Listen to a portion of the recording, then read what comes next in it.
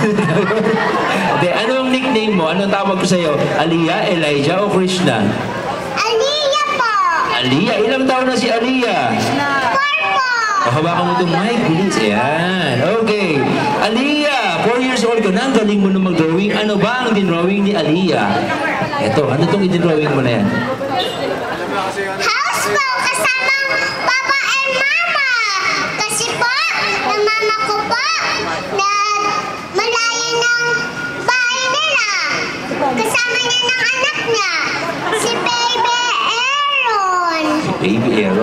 Tapos, Ang papa ko po, si Ibadeng House po, kasama niyang anak niya.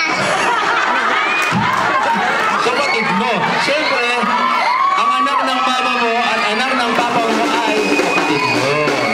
Alright. Eh, bakit naman merong, ano naman tong vlog na to? Ano tong vlog na to? School namin po. Okay, ano naman ang ginagawa ni Aliyah sa school? Masaya po ako doon. Ano ba ginagawa? School. Nasulat po ako mabuti. Tapos po na-color po ako. Nagko-color, kaya pala ang drawing mo ay maraming kulay. May blue at may anong kulay ito? Green po. Green! Alam na alam niya ang mga kulay. Palakpakan po natin si Aliyah. And of course, our little drummer boy, John Cedric nakalagay ko pa sa, sa kahon, ha? Yung mukha kang toy doon, tapos gumalaw ka. Ilang taon na si John? Six po. Kanina, magaling ka mag-drums. Matagal ka na nag-drums? Bago lang po. Bago lang, kanina lang. Alright, ang galing. Okay, John, bakit naman, ah, ano pala itong drawing mo? Sige nga. Ano-ano ba yan? Si mama tsaka si dad, tsaka ako, tsaka yung bahay namin. Pati po yung aso. Pati yung? Yung aso po. Ito. Ito ba yung aso? Okay. Bakit naman itong ah, komunidad mo ang drawing mo? Bakit yan ang napili mong i-drawing? Kasi po sila po nagpapaligay sa akin. Tsaka rin po si daddy po. Si daddy po nag-work para po may makain kami. Tsaka rin po si Si mami po nagluluto tsaka tinuturuan ako sa mga assignment. Tsaka rin po dinurawin ko din po ang aso namin. Siya din po nagbabantay sa amin.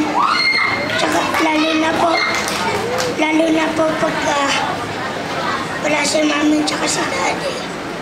Kahit unti lang kami pamilya, punong-puno naman po kami ng pagmamahal. Yung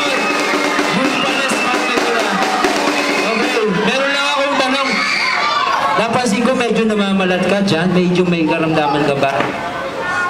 Opo. Ah, pero tuloy pa rin ang laban, di ba?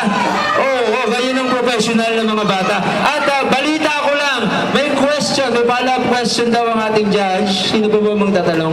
Si Ate Rayco, veteran yan ng Little. Bigla ngayon. Ate Rayco, may tatanong ko sa amin? Naguluhan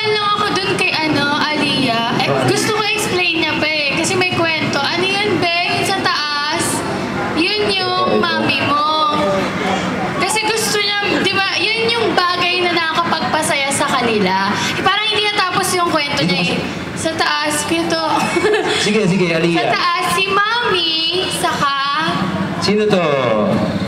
Mama and po. Si Mama. si Di- mama, saka Okay. yung anak niya. Tapos sa baba, Si Papa po, tapos si Zian sa Aya, tapos si Mami Step po. Ah, pero kuya to, nakita ko sa may bahay. Oo. Right? Sinong nasa loob ng bahay? Ito, sino? Ah, sino daw nandito sa bahay? Bahay ba yun? Oh. Ito, itong malaki, Yun, ito. yung malaki. Itong yellow house. Saan ba itong yellow house na to? Sa San Jose ba to? Sa Sabang? Sa San Jose? O, saan? Sino ang nakatira dito? Sino itong nasa loob ng bahay sa San Jose? Kami po ni Ate Ayi. Kayo to? Nasa loob kayo? Opo. Ano ginagawa niyo? Mukhang masaya kayo rito, oh. Ayun, nagkikilitian pa kayo ron, oh. Ayan. Masaya ba kayo sa loob ng bahay? Opo. Yun ang importante. Ang bata dapat laging happy. Kaya nga ang tugtog natin, Tito Dave ay happy. Yan. Palakpakan po natin ang ating mga contestants for their artwork dito sa Little and Miss Das Marias. Palakpakan po natin sila.